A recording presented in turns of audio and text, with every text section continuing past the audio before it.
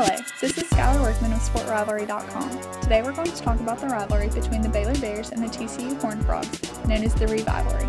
Let's join Sport Rivalry Man on a brief history of the Baylor-TCU rivalry.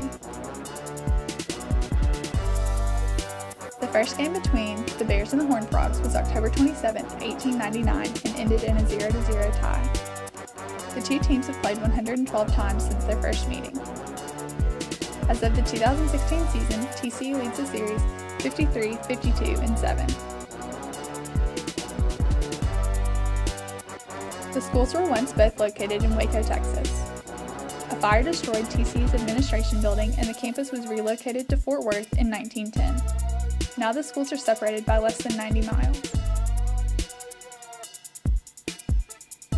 Both schools were members of the Southwest Conference until it disbanded in 1995. Baylor and TCU did not play for 10 years but renewed their rivalry in a non conference series in 2006 2007 and 2010 2011. In 2012, TCU joined Baylor in the Big 12 Conference, and the rivalry is now played again annually. This rivalry is unusual because both TCU and Baylor are private Christian schools, and they have had both historic and recent parity.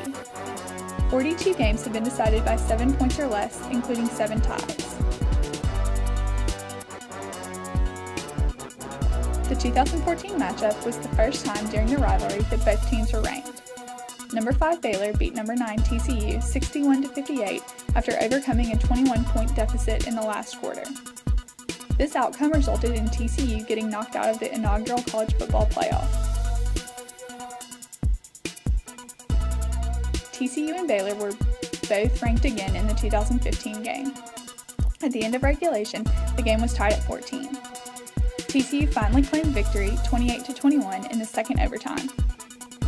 The recent su success of both teams has drawn more national attention to the rivalry.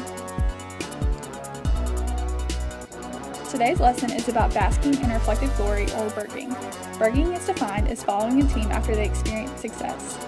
Thank you for your time. This has been Skylar Workman with SportRivalry.com, signing off.